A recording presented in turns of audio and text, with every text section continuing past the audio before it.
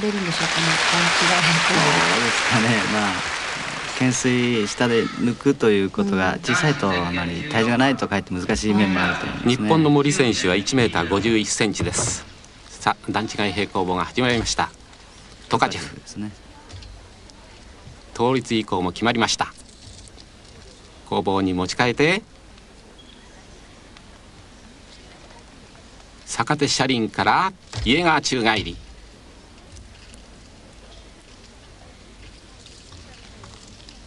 なかなかいいですね。そうですね、ええ、最後の技が決まりますと期待できるんですかね。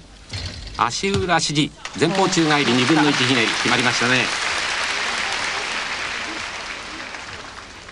森選手はロス。